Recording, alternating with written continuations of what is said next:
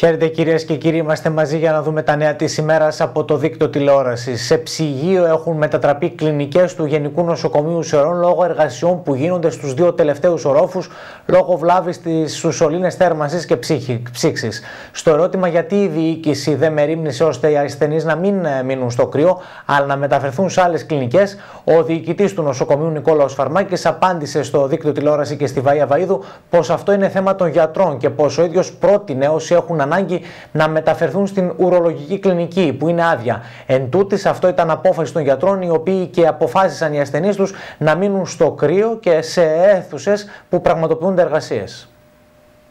Έχουν σαπίσει σωληνώσεις και με το ζεστό νερό θα μπορούσε να γίνει όχι έκρηξη, απλώς μπορεί ναάσταζε Μας είπαν ή θα κρυώσετε λίγο ή θα είστε με διάβροχο και ομπρέλες μέσα στα γραφεία. Πολλά ήταν τα παράπονα των ασθενών της καρδιολογικής κλινικής τις τελευταίες ημέρες, τα οποία και ανέφεραν πως στο νοσοκομείο γίνονται εργασίες και η κλινική έχει μετατραπεί σε ψυγείο. Στην κλινική υπάρχουν ασθενείς ηλικιωμένοι αλλά και εγχειρισμένοι, οι οποίοι δεν μπορούν να παραμείνουν στο κρύο, αλλά η απάντηση που έλαβαν από την διοίκηση είναι υπομονή λίγες μέρες ακόμη.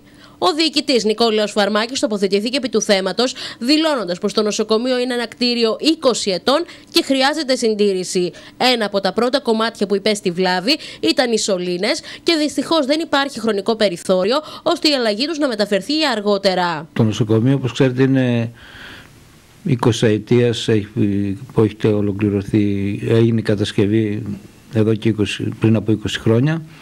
Ε, σε κάποια σημεία κάποιες σωληνώσεις άρχισαν να στάζουν όταν είχαμε την ψήξη το καλοκαίρι και στην αρχή στη συνεννόηση με τις κλινικές είπαμε θα έπρεπε να κλείσει η ψήξη.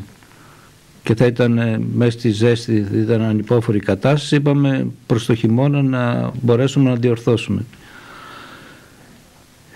αντί να και είχαμε σκοπό να, να κόψουμε κάποιες συγκεκριμένες σωλήνες που είχαν τρυπήσει για να, και να βάλουμε κάποιες καινούριες. Ένας τεχνικός που φέραμε απ' έξω μας είπε ότι αν θα γίνει αυτό εδώ και όταν θα ανάψουν τα καλοριφέρ ε, μπορεί να πλημμυρίσει όλο το νοσοκομείο. Ο κύριος Φαρμάκης εξήγησε πως ακόμη και η εξέβρεση πόρων ήταν δύσκολη υπόθεση, καθώς χρήματα στον προπολογισμό του νοσοκομείου δεν υπήρχαν, με αποτέλεσμα ο κύριος Τσαλικάκης, διοικητής της 4η, είπε να αντλήσει χρήματα από προπολογισμού άλλων νοσοκομείων. Χρήματα δεν υπήρχαν, κατεβήκαμε στην 4η, είπε προς να ευχαριστήσουμε ιδιαίτερα τον κύριο Τσαλικάκη, ο οποίος πήρε από τον προπολογισμό του ΑΧΕΠΑ 50.000 και 50.000 από τον προπολογισμό του, της Αλεξανδρούπολης μας έδωσε 100.000 και αποφασίσαμε να διορθώσουμε τους δύο τελευταίους ορόφους. Ήδη έχει τελειώσει η οφθαλμολογική και η παλιά η ορολογική και η οριλά. Αυτή τη στιγμή είμαστε μέσα στην καρδιολογική ε, στα μέσα της εβδομάδας ανεβούμε στο τέταρτο όροφο μέχρι τις παραμονές Χριστουγέννων θα έχει ολοκληρωθεί όλο το έργο. Ζητάμε κατανόηση και από τους ασθενείς αλλά έχουμε πει και τις κλινικές, τους διευθυντές, τις προϊσταμένες, αν κάπου υπάρχει πρόβλημα, ας μεταφέρουν τους ασθενείς στο, στην δεξιά πλευρά του τρίτου ρόφου που είναι τελειωμένη ήδη. Και... Στο ερώτημα γιατί η διοίκηση δεν μερίμνησε ώστε οι ασθενείς να μην μείνουν στο κρύο αλλά να μεταφερθούν σε άλλες κλινικές, ο κύριος Φαρμάκης απάντησε πως αυτό είναι θέμα των γιατρών και πως ο ίδιος είχε κάνει προτάσεις. Ανατμήμα τους πηγαίνουμε, είναι δύο μέρες ταλαιπωρία είναι, απλώς δεν ξέρω, εμείς είπαμε ότι υπάρχει μια κλινική άδεια, μια πτέρυγα μάλλον άδεια, οι οποίοι μπορούν να μεταφέρουν αν θέλουν τους ασθενείς τους. Άρα οι γιατροί δεν ήθελαν να τους πάνε. Δεν ξέρω τώρα οι γιατροί προσταμένοι τι τέτοιο, απλώς αυτή είναι η διαδικασία, ότι μέχρι τέλος των Χριστουγέννων Μέχρι τις παραμονές Χριστουγέννων, μάλλον θα έχει ολοκληρωθεί το έργο για τους δύο ορόφου. Έω και την παραμονή των Χριστουγέννων, οι εργασίες στου δύο τελευταίους όροφους του νοσοκομείου θα έχουν πλέον ολοκληρωθεί, ενώ με τη νέα χρονιά και την καταβολή του νέου προπολογισμού θα ενταχθεί στο πρόγραμμα η αλλαγή σωληνώσεων και στους άλλους ορόφου του νοσοκομείου. Σχεδόν ε, μέχρι παραμονές Χριστουγέννων θα ολοκληρωθούν οι δύο, πρώτοι οι δύο τελευταίοι όροφοι. μετά οι κάτω όροφοι έχουν επίσης σημαντικές κλινικές, δηλαδή είναι πάλι με ευτικές, είναι Είναι στο δεύτερο όροφο είναι οι παθολογικές και στον πρώτο όροφο είναι η παιδιατρική και η μευτική. Εκεί σκέφτεστε, επειδή μευτική, παιδιατρική είναι δηλαδή παιδάκια δεν μπορείτε να τα αφήσετε στο κρύο. Εκεί θα τα μετακομίσετε, θα κάνετε κάτι. Κοιτάξτε, σας είπαμε, υπάρχει, επειδή έχει κλείσει η ορολογική κλινική, επειδή δεν υπάρχουν mm ορολόγοι, υπάρχει μια πτέρυγα με 16 κρεβάτια η οποία είναι άδεια αυτή τη στιγμή. Άρα οποιοδήποτε μπορεί να, τις χρησιμο... μπορεί να τη χρησιμοποιήσει. Άρα εκεί είναι μετά στο χέρι του εκάστοτε γιατρού, αν θα ανοίξει εκείνη η πτέρυγα. Είναι άδεια, μπορούν να, να πάνε εκεί πέρα όποιος θέλει. Ναι, αλλά αν πούμε ότι γίνονται ταυτόχρονα σε παθολογική και παιδιατρική, δεν μπορούν και οι δύο να. Πτέρυγα, πτέρυγα, πτέρυγα πάει. Το νοσοκομείο έχει δεξιά και αριστερά. Δεξιά ήταν ορολογική, οφθαλμολογική, δεξιά είναι, αριστερά είναι η καρδιολογική. Στο τέταρτο δεξιά είναι η ορθοπαιδική, δεν πάνε και τα δύο μαζί, πρώτα η μία και μετά η άλλη. Άρα δηλαδή και αν υπάρχει πρόβλημα, αν δεν είναι γεμάτη ορθοπαιδική, κάποιος από την χειρουργική μπορεί να μεταφερθεί δίπλα για να μην αλλάζουν και όροφους, γιατί δεν έχουμε 100% πληρότητα, πληρότητα οι κλίνες. Για εκεί, εκεί αναζητούμε τα χρήματα, έτσι, για το δεύτερο κομμάτι είπατε. Για το δεύτερο κομμάτι, από την αρχή του έτους που θα έρθει ο καινούριο προπολογισμό, θα το εντάξουμε. Θα μείνουμε στο θέμα κυρίες και κύριοι και θα πάμε να παρακολουθήσουμε τι δήλωσε το μεσημέρι στην εκπομπή δύο ώρες μαζί με τη Μαρία Νάβαλη, ο πρόεδρος της Ένωσης Νοσοκομιακών Γιατρών του Γενικού Νοσοκομείου Σερών, ο κ. Βαγγέλης Παπαμιχάλης για το ίδιο θέμα. Το νοσοκομείο Σερών γενικά δεν έχει καμία συντήρηση. Οπότε άμα περνούσατε ας πούμε το καλοκαίρι, φέτος το καλοκαίρι, να περνούσατε από το νοσοκομείο ή ακόμα και σήμερα, θα δείτε κλινικές ή περιοχές που έχουν σπάσει σωλήνες και έχουμε από κάτω κουβάδες γιατί τρέχουν κουβά. Οπότε έπρεπε σαφώς οι σωληνώσεις του νοσοκομείου να αλλάξουν με αυτές που έχουν να κάνουν με τη ψήξη και τη θέρμανση του νοσοκομείου.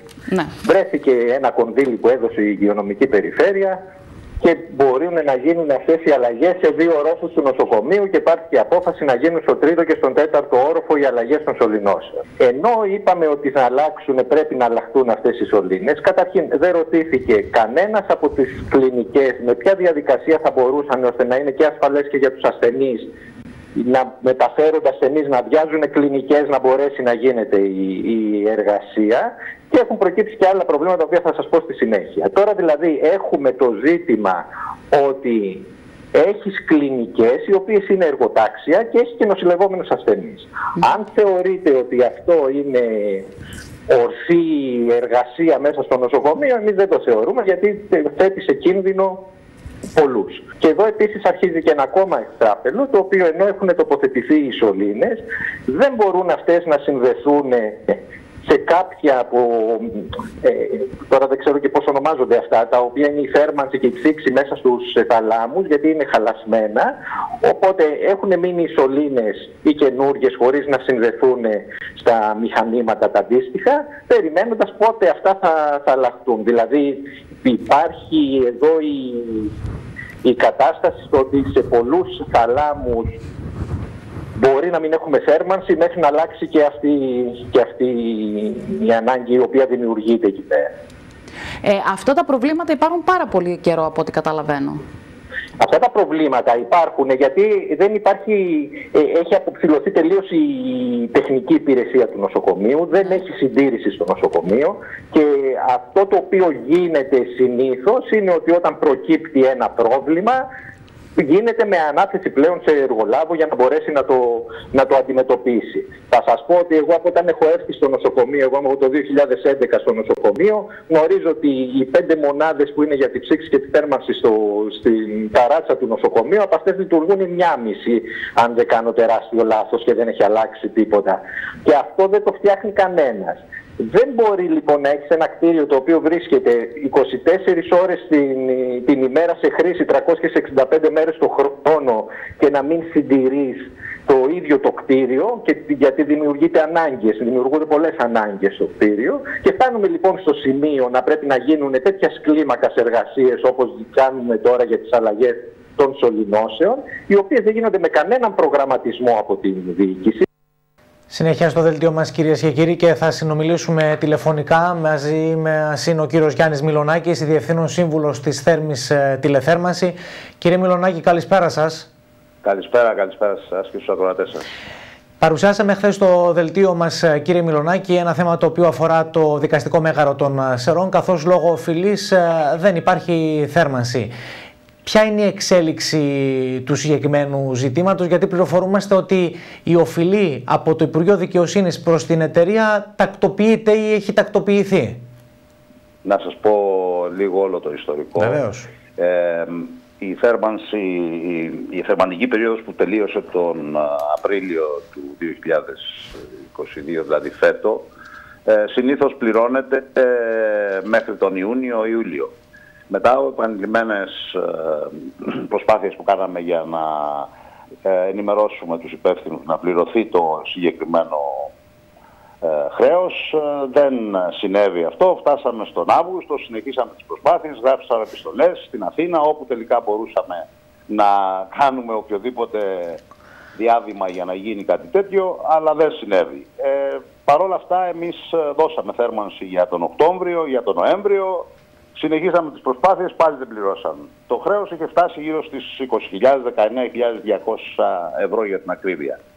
Ε, δεν μπορούσαμε να κάνουμε κάτι άλλο, διότι αυτή είναι η πολιτική της εταιρείας. Έπρεπε να διακόψουμε την ε, θέρμανση σαν, ε, και σαν ένα μέσο πίεσης ε, για να εισπράξουμε το χρεος Αυτό συνέβη πριν από περίπου 15 μέρες και πάλι δεν είχαμε καμία εξέλιξη. Μέχρι χθες που βγήκε στον αέρα που κάνατε κάποια ρεπορτάζ εσείς ε, και σήμερα μας πήραν τηλέφωνο από την Αθήνα και μας ζήτησαν ε, το IBAN, το λογαριασμό μας δηλαδή για να καταθέσουν τα χρήματα.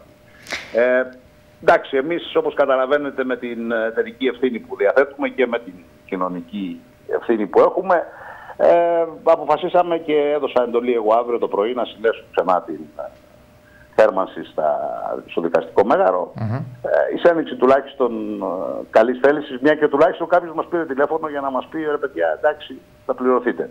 Κύριε Μιλονάκη, η οφειλή... Δεν υπάρχει κάτι άλλο. Ναι. Η οφειλή είναι από πέρσι το χειμώνα, υπήρχε ποσό; Η οφειλή είναι από πέρσι από την περσινή θερμανική σεζόν. Ε, συνήθως ε, τους τελευταίους πληρώνουν μια-δυο φορές το χρόνο, σαν δηλαδή γύρω στον Ιανουάριο παίρνουμε μια δόση για το Οκτώβριο-Δεκέμβριο και μετά ε, γύρω στον ε, Ιούνιο πληρωνόμαστε για το υπόλοιπο που είναι από τον Ιανουάριο μέχρι τον Απρίλιο. Ναι.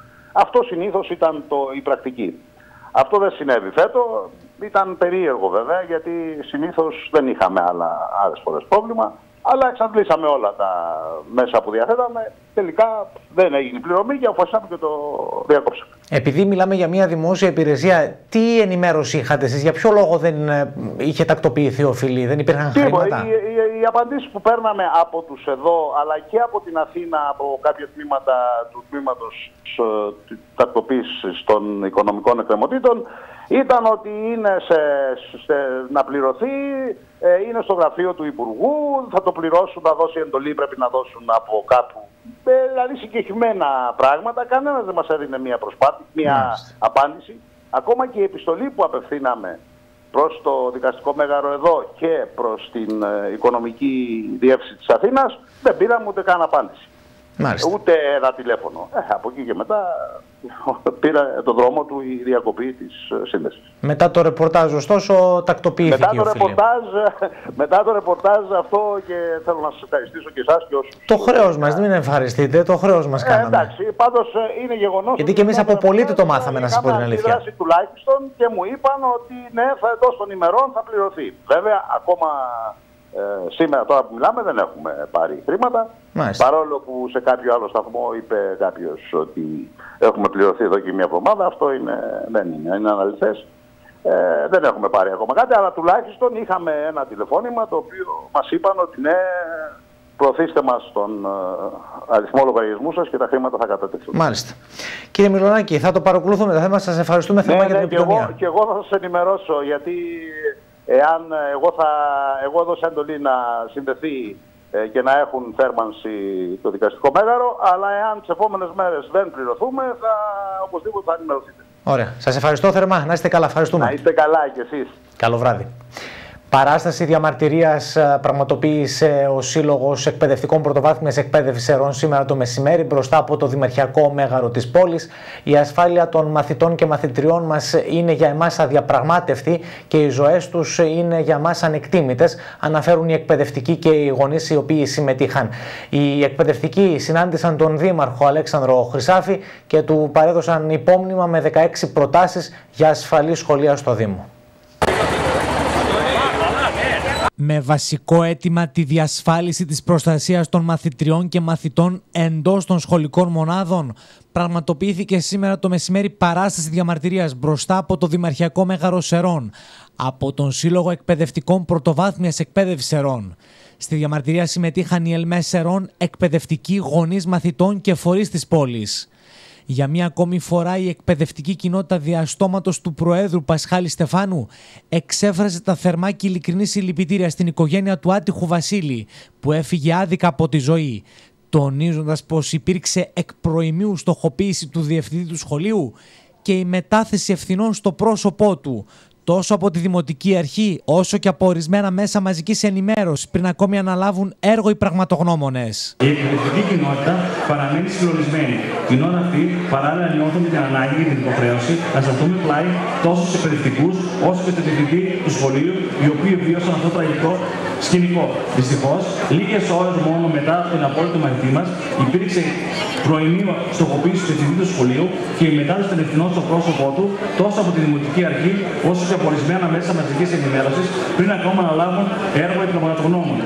Εδώ και, εδώ και μέρες, στο πρόσωπο του διευθυντή του συγκεκριμένου σχολείου, προσβάλλεται η εξωπρέπεια όλων των εκπαιδευτικών, η ανθρώπινη και κοινωνική υπόστασή μας για αρμοδιότητες και παραλήψει άλλων.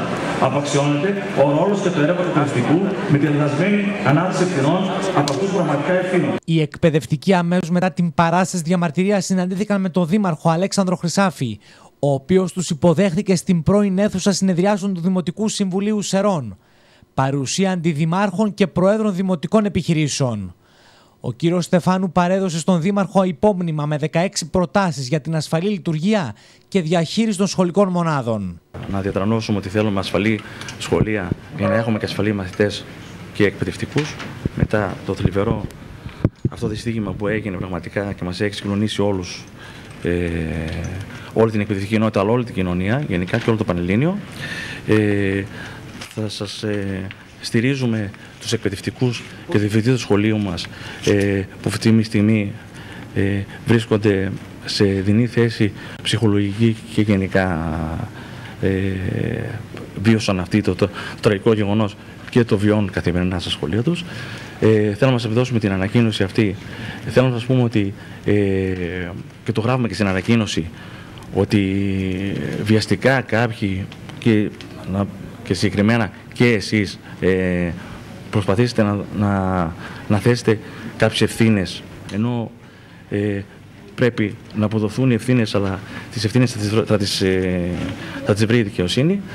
Ε, βέβαια, χθες ε, τουλάχιστον εγώ με ικανοποίηση είδα ότι βγάλατε μια ανακοίνωση ε, δίνει δικαιολογημένα ε, εκείνες τις πρώτες μέρες όλοι ήταν σε μια ψυχολογική ψύχηση γενικά και, θα σας, και εκτός από την ανακοίνωση θα σας δώσουμε και ένα υπόμνημα ε, 16 σημείων που πιστεύουμε για, για την ασφάλεια και την, ε, και την λειτουργία των σχολικών μονάδων, προτάσεις από τον Σύλλογο Εκπαιδευτικών. Ο κύριος Χρυσάβη παρέλαβε το υπόμνημα και τόνισε αποφασισμένος να μην αφήσει να υπάρξει ποτέ ξανά ένα τέτοιο συμβάν στο μέλλον.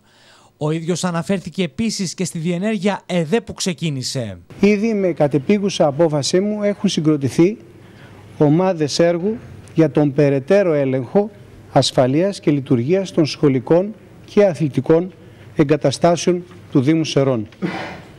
Θέλουμε τη συνεργασία και την, τις προτάσεις για την βελτίωση των υποδομών μας. Και, φυσικά απαιτείται και η υποστήριξη της πολιτείας. Η τοπική αυτοδιοίκηση ανέλαβε τις αρμοδιότητες συντήρησης και λειτουργίας των σχολείων με ελάχιστους πόρους και περιορισμένο ανθρώπινο δυναμικό. Κάνουμε υπερπροσπάθεια καλύπτοντας με ίδιους πόρους τις ανάγκες των σχολείων που ειδικά και ειδικά πολλά στεγάζονται σε παλιά κτίρια με πολλές ελλείψεις και προβλήματα.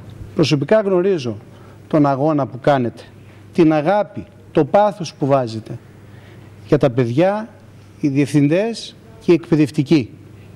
Δεν είμαστε απέναντι, είμαστε μαζί.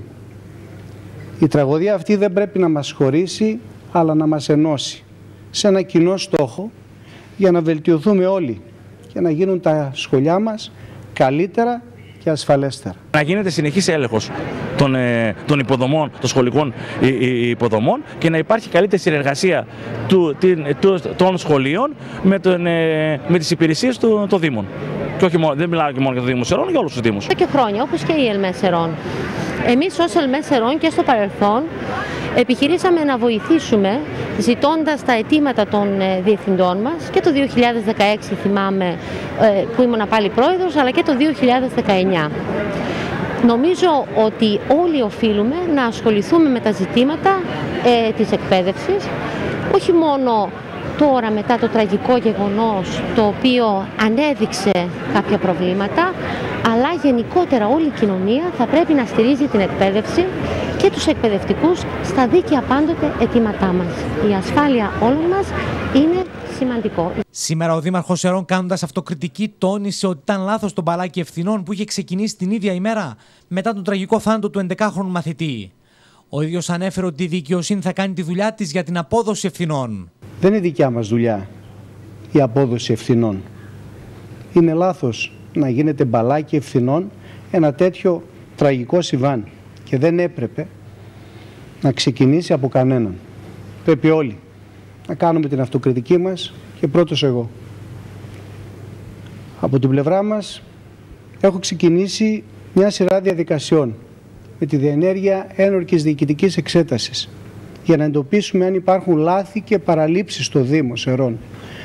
Και είμαι αποφασισμένος να αποδοθούν ευθύνες όπου και να υπάρχουν. Αυτό είναι κάτι που οφείλουμε όλοι να το κάνουμε.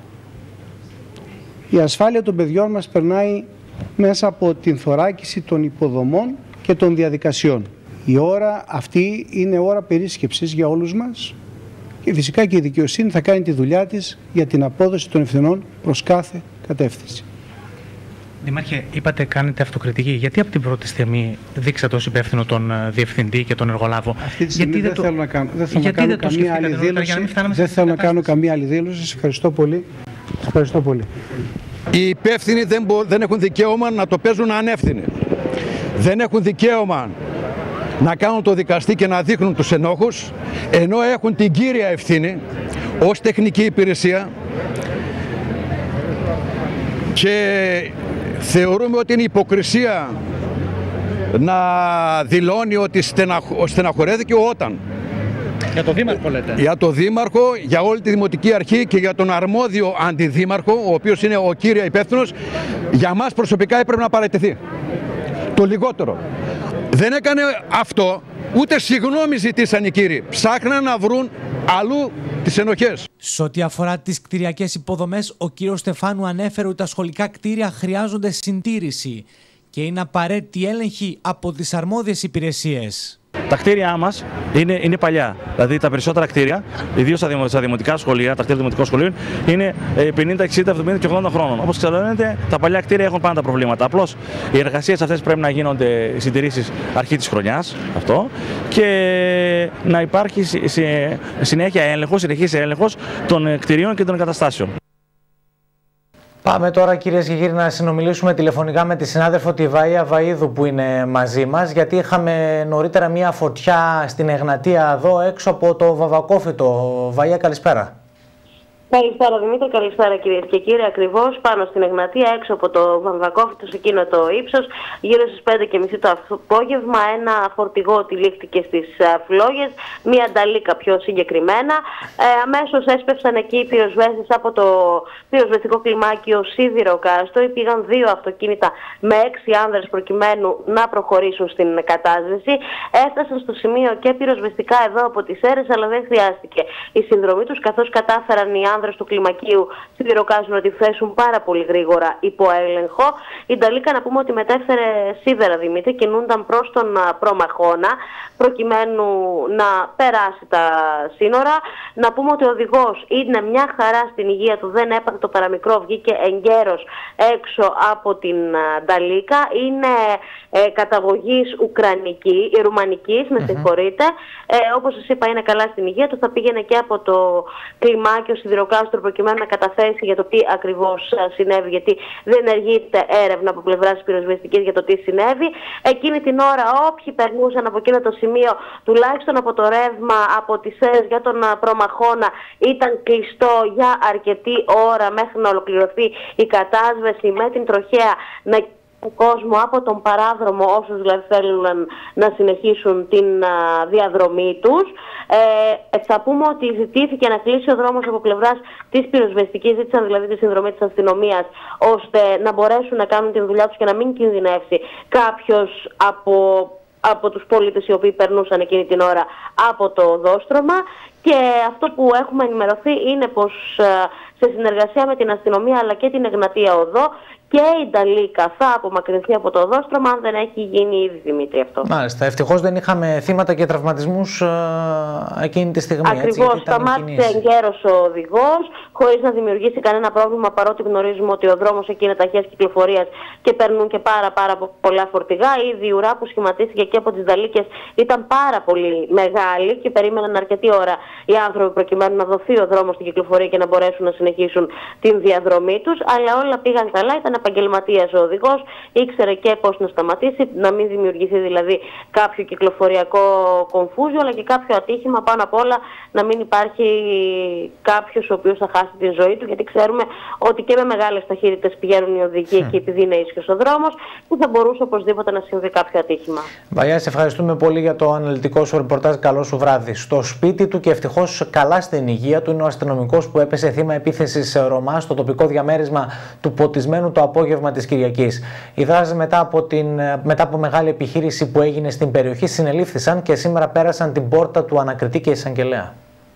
Ο αστυνομικό είναι καλά, χθες μιλήσαμε μαζί, είναι καλά στην υγεία του. Βέβαια έχει κάποιο πόνο, έχει χτυπημένο στο πρόσωπο, είναι μλανιασμένο, αλλά είναι καλά στην υγεία του ευτυχώς ε, σας είπα και πριν ότι αποσοβήθηκαν τα χειρότερα. Στο σπίτι του και σχετικά καλά στην υγεία του, παρά τα πολλαπλά χτυπήματα που δέχθηκε στο σώμα και στο κεφάλι, βρίσκεται ο αστυνομικός της ομάδα Όπκε, ο οποίος το απόγευμα της Κυριακής δέχτηκε επίθεση από ομάδα Ρωμά την ώρα που πραγματοποίησε με συνάδελφό του περιπολία στην περιοχή. Συνάδελφοί μου της ε, ομάδας ε, Όπκε, την Κυριακή το απόγευμα ήταν ε, σε εποχούμενη περιπολία στην περιοχή της, ε, του Δήμου Εράκλειας. Κάποια στιγμή κάτι τι 7 έφτασε κάτι στον ποντισμένο, είδαν ένα αυτοκίνητο στην πλατεία του χωριού έξω από ένα σούπερ μάρκετ, ένα αγροτικό αυτοκίνητο το οποίο δεν έφερε επενδύσεις κυκλοφορίας.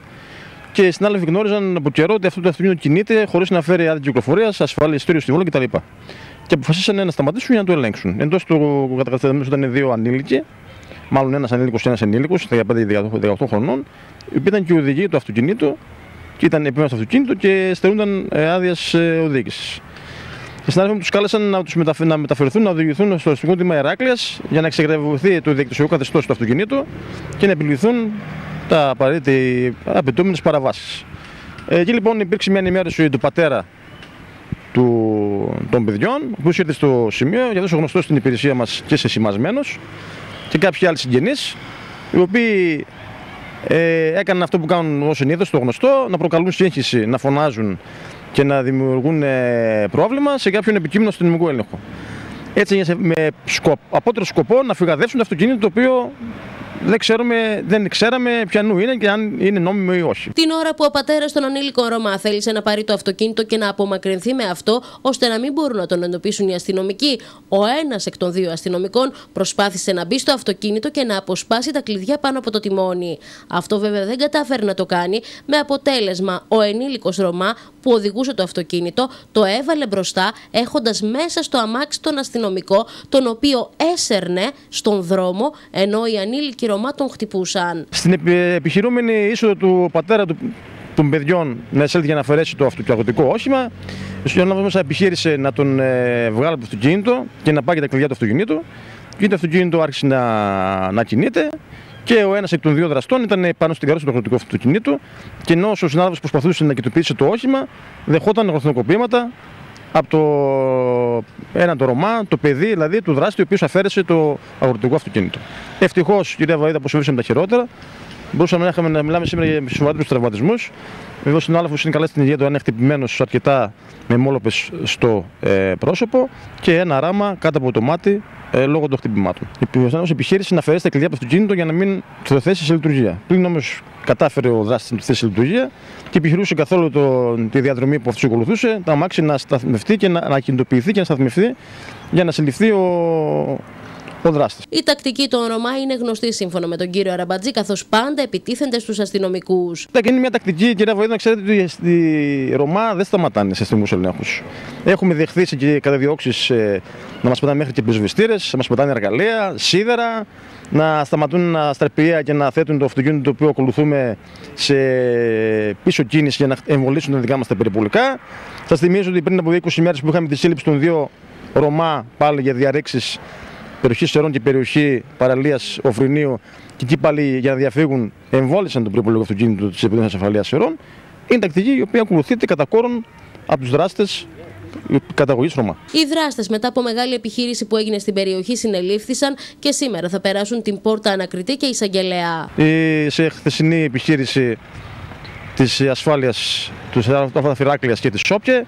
Δεν θα σας εντοπίστηκαν ή τον κρυμμένοι. Συνελήφθησαν και θα οδηγηθούν σήμερα στην δικαιοσύνη. Σε ό,τι αφορά τα παράπονα των κατοίκων, οι οποίοι και δήλωσαν στην κάμερα του δίκτυου τηλεόραση πως δεν αντέχουν άλλο να ζουν αυτές τις καταστάσεις και πως φοβούνται να βγουν από τα σπίτια τους, ο πρόεδρος της Ένωσης Αστυνομικών Υπαλλήλων Νομού Σερών, Αναστάσιος Αραμπατζής, τόνισε πως όπου υπάρχουν καταβλισμοί, δυστυχώς υπάρχουν τα ίδια προβλήματα. Όλες οι περιοχές στις οποίες υπάρχουν καταβλισμοί Ρωμά οι εκεί κάτοικοι βιώνουν τα ίδια πράγματα. Ε, να σας πω όμως ότι το τελευταίο χρόνο, από πέρσι υπάρχει αυτός ο δικός σχεδιασμός της Διεύθυνση Αστυνομίας Σερών με αυξημένες περιπολίες όλων των περιοχών στην περιοχή. Έχουν μειωθεί κλοπές και διαρρήξει στατιστικά κατά 50% και επιχειρούμε εκεί που ξέρουμε ότι υπάρχει πρόβλημα. Το έχουμε βέβαια πολλάκες ότι το πρόβλημα το οποίο αντιμετωπίζει όλη η ελληνική κοινωνία με αυτούς τους ανθρώπους δεν είναι πρόβλημα το οποίο θα το λύσει η ελληνική αστυνομία.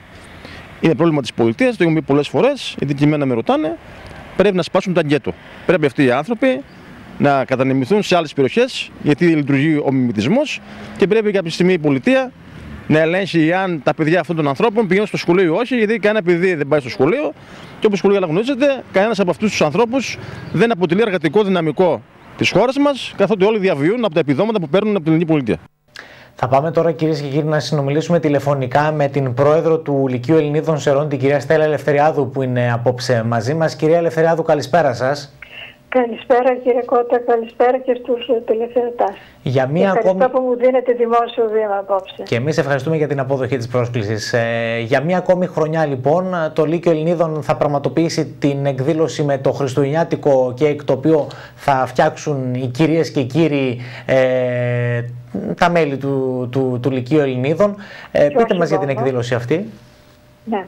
Ε, είναι η πέμπτη χρονιά που διοργανώνουμε το χριστουγεννιάτικο διαγωνισμό του ΚΕΙ με φιλανθρωπικό σκοπό και οι προηγούμενες εκδηλώσεις τον ίδιο σκοπό είχαν. Απευθυνθήκαμε λοιπόν με ένα δελτίο τύπου ε, όχι μόνο στα μέλη μας αλλά σε όλες τις αιρέες και τους αιρέους ε, για να, να, αν έχουν τη διάθεση να παρασκευάσουν ένα κέικ και να το φέρουν αύριο το απόγευμα στις 6 ώρες στο ξενοδοχείο Ελπίδα Resort όπου θα γίνει εκεί ο διαγωνισμός. Πρέπει να πούμε εδώ όμως ότι ε, το ΙΕΚ ε, Σερών ε, με ευγενική προσφορά προσφέρεται και φέτος να παρασκευάσει έναν αριθμό ε, το τμήμα ζαχαροπλαστικής μαγειρικής να παρασκευάσουν και τα παιδιά υπό την επίβλεψη του κυρίου Μαρδακίδη του ΣΕΒ και πρέπει τώρα ιδιαίτερα να ευχαριστήσουμε το ΙΕΚ και το διευθυντή τον κύριο Μιχαηλίδη. Θα ετοιμάσουν λοιπόν πάρα πολλά κέικ τα οποία βλέπουμε τώρα και στην οθόνη το, το ΙΕΚ και οι κυρίες και θα γίνει ο διαγωνισμός. Πρέπει να πούμε εδώ όμως το σκοπό του διαγωνισμού. Βεβαίως. Και πρέπει να πω εδώ τώρα όσες κυρίες μας ακούν και δεν έχουν ενημερωθεί για, το, για την εκδήλωση, μην πανικοβάλλονται ε, να έρθουν όσες έχουν τη διάθεση να στηρίξουν αυτή την εκδήλωση. Δεν είναι απαραίτητο να φέρουν κέικ. Όσες ε, κυρίες είχαν τη διάθεση και την όρεξη να παρασκευάσουν ένα κέικ, καλώς ε, το έκαναν. Από εκεί και πέρα όμως ε, δεν σημαίνει ότι αυτές που δεν έχουν φτιάξει ένα κέικ ότι αποκλείονται της εκδήλωσης. Πρέπει να πούμε λοιπόν ότι αύριο στις 6 ώρες στο Ελπίδα Resort θα γίνει ο διαγωνισμός του κέικ και για την ε, ενίσχυση ενός παιδιού της ε, Χριστίνας Μαρίας η οποία ήδη βρίσκεται στον Άσιο και αύριο πρώτο Θεός γίνεται και η επέμβαση. Γι' αυτό απόψε ας την βάλουμε στην προσευχή μας και ας βάλουμε και τα παιδιά μας να προσευχηθούν για το παιδί αυτό. Ε, ένα παιδί χάθηκε την προηγούμενη εβδομάδα και συνεκλώνησε όλη την κοινωνία και δεν μπορούμε να συνέλθουμε, αλλά τώρα πρέπει να σωθεί και ένα άλλο παιδί. Πρέπει εδώ να ευχαριστήσουμε ιδιαίτερο στο Ελπίδα Resort για την ε, διάθεση του χώρου. Το Ελπίδα θα προσφέρει ε, ροφήματα, καφέ, τσάι, ό,τι θέλει κάθε μία. Ε, να ευχαριστήσουμε το ΙΕΚ βεβαίως που θα παρασκευάσει τα κέικ και τον ε, όμιλο καταστημάτων ε, Κάντζε, οι οποίοι είναι οι, οι οποίοι διέθεσαν τα υλικα για να κατασκευαστούν τα κέικ από το ΙΕΞΕΡΟ. Πάντως κυρία λοιπόν, Ελευθεριάδου... περιμένουμε όλους αύριο ε, να, να συμμετέχουν σε αυτή την εκδήλωση και θα τη χαρούν γιατί είναι κάτι διαφορετικό. Δεν είναι κοσμική η εκδήλωση, επαναλαμβάνω. Είναι μέσα στο πνεύμα των ημερών. Ο Χριστός εξάλλου κατέβηκε στη γη για όλους μας και ιδιαίτερα όμως για τα παιδιά. Και αν θυμηθούμε ότι τα χρόνια εκείνα που βρισκόμαστε στην ρωμαϊκή εποχή και η, η θέση των παιδιών ήταν παραμελημένη από την κοινωνία όπως και των γυναικών. Ο Χριστός λοιπόν ήρθε για να, αποκατα... να βάλει τα πράγματα στη θέση τους, να αποκαταστήσει τη θέση των παιδιών στην κοινωνία και των γυναικών γιατί όπως θυμόμαστε η γυναίκα θεωρούνταν ε, ρες πράγμα δηλαδή την εποχή εκείνη. Ε, και πρέπει να πούμε ότι να συμπληρώσω εδώ κύριε Κώτα ότι χιλιάδες και εκατομμύρια λαμπιόνια στολίσουμε τα σπίτια μας ή τις πόλεις που τώρα γίνεται και ένας ανταγωνισμός ποιος έβαλε Θα κάνει το ωραιότερο μπαλκόνι, ναι, φωτεινό Εάν μπαλκόνι. η καρδιά μας είναι ψυχρή και παγωμένη ε, δεν μπορεί να ζεσταθεί με κανένα λαμπιόνι και με κανένα στολίδι. Είναι μια ευκαιρία λοιπόν να αισθανθούμε αύριο όμορφα, να προσευχηθούμε να πάει η επέμβαση καλά για το παιδί, να γυρίσει γερό με την οικογένειά του εδώ και να είναι μαζί μας τα Χριστούγεννα και εμείς να είμαστε ε, γεμάτες από, ε, από αγάπη και, γιατί μας δόθηκε μια ευκαιρία να κάνουμε κάτι κι εμείς σε αυτές τις μέρες. Και είναι και μια εκδήλωση που την αγαπάνε οι κυρίες ε, των Σερών, έτσι δεν είναι κύριε Ελευθεριάδου. Δεν άκουσα. Είναι μια εκδήλωση την οποία στηρίζει ο κόσμος και αγαπάνε και οι κυρίες που Βεβαίως. φτιάχνουν ε, τόσα ωραία γλυκά και, και έχουμε δέσμα. μεγάλη συμμετοχή. Πρέπει να πω εδώ να θυμίσω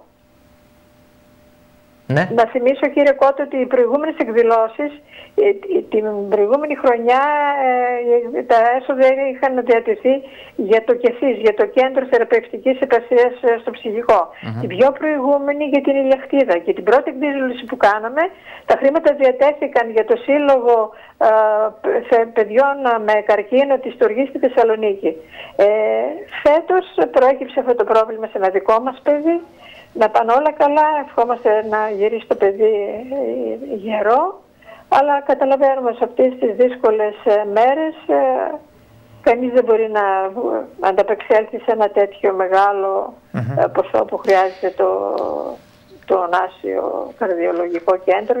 Και νομίζω ότι πρώτα θα έρθουν και βοήθεια του Θεού όλα θα πάνε καλά.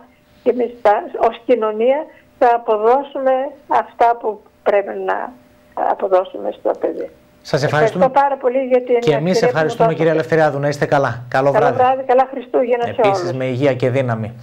Έως και τις 21 Δεκεμβρίου θα πρέπει να καταβληθεί το δώρο Χριστουγέννου στους εργαζόμενους του ιδιωτικού τομέα.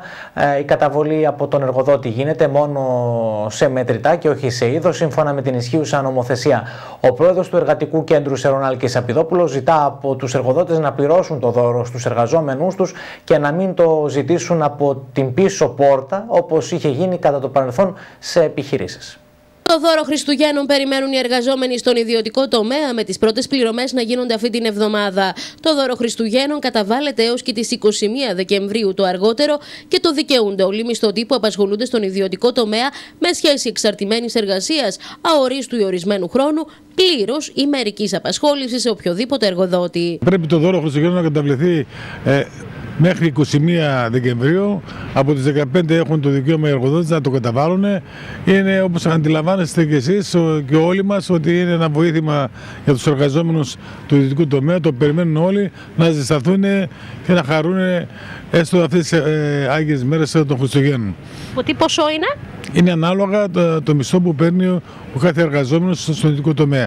Ε, Αυτοί που είναι με ε, τετράωρα είναι με το, πάλι με το μισθό του αντίστοιχο ε, ολόκληρο είναι και θα πρέπει όπως είπα τη, οι εργοδότες να αντίξουν την, ε, σε αυτή την εποχή ε, τη μεγαλοψυχία τους και να το καταβάλουν όλοι και να μην έχουμε προβλήματα. Διότι... Είναι μεγαλοψυχία, υποχρέωση είναι πρόεδρε. Είναι νόμος και είναι υποχρέωσή τους. Αλλά επειδή έχουμε δει πολλά φαινόμενα να καταβάλει το δώρο και να το εισπράττουν πίσω οι εργοδότες, να σταματήσουν αυτά, διότι δεν θα μείνει κανένας νέος εργαζόμενος στην Ελλάδα. Θα φύγουν όλοι στο εξωτερικό. Η καταβολή από τον εργοδότη πρέπει να γίνεται μόνο σε μετρητά και όχι σε είδος, ενώ σύμφωνα με την ισχύουσα νομοθεσία, όσοι εργάζονται λιγότερους από 8 μήνες δεν θα λάβουν ολόκληρο τον μισθό τους, αλλά ό,τι τους αναλογεί βάσει των ημερών που εργάζονται. Βγαίνει η γραφή είναι με ποσοστό ε, του δώρου Χριστουγέννων, γιατί όλοι δεν είναι ε, μόνιμοι και πάγια. Αυτή είναι με ορομίστη, όλοι αυτοί είναι ανα- πάει με την αναλογικότητά του και παίρνει το αντίστοιχο που το βγάζει ο λογιστής. Κάποιος δουλεύει 6 μήνες δεν θα πάρει όλο το μισθό του, θα πάρει λιγότερο. Θα πάρει το μισό δώρο, θα πάρει το μισό, το μισό γιατί το αντιστοιχείς στο μισό χρόνο το οποίο εργαζόταν. Ε, πράγματι είναι ένα βοήθημα το οποίο πραγματικά το έχει ανάγκη κάθε εργαζόμενος στο ιδιωτικό τομέα. Και εύχομαι να καταβληθεί μέχρι 21 του μηνός από όλους τους εργοδότες. Τι γίνεται στην περίπτωση που δεν καταβληθεί, τι πρέπει να κάνει ο εργαζόμενος; Οι εργαζόμενοι όταν δεν πάρουν το δώρο των Χριστουγέννων, ένα τηλεφώνο στο εργατικό κέντρο να κάνουν και μαζί με την επιθεώρηση θα επιλεφθούμε εμείς ώστε να πάρουν, διότι θα επιβαρυνθούν επιπλέον οι εργοδότες για, αυτό, για αυτή την καθυστέρηση η οποία κάνανε.